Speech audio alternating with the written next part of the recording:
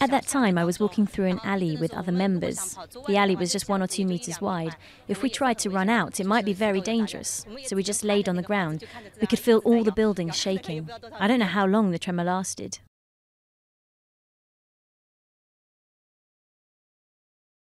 我是在酒店休息四楼，呃，摇摆的很厉害，呃，很无助。 I was having a rest in my hotel on the fourth floor, which shook a lot. I felt helpless. All the glass cracked and facilities in my room fell down. I scrambled to rush out onto the lawn after the first tremor was over.